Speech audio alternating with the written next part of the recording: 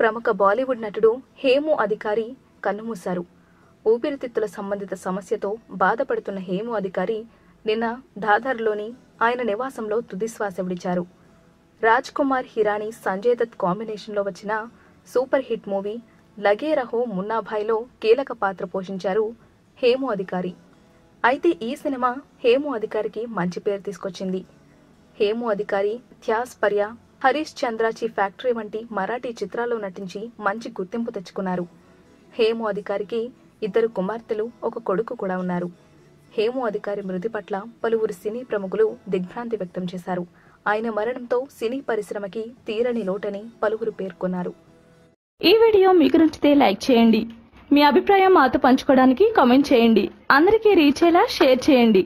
కానీ మా ఛానల్ని సబ్స్క్రైబ్ చేసుకోవడం మాత్రం మర్చిపోకండి.